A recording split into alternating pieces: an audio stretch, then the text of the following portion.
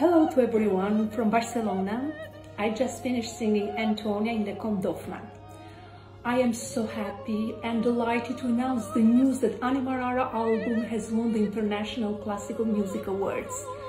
I want to thank International Classical Music Awards for this honor and also want to express my appreciation to the Opera Rara team and all the wonderful colleagues that worked with me on bringing to life this wonderful music.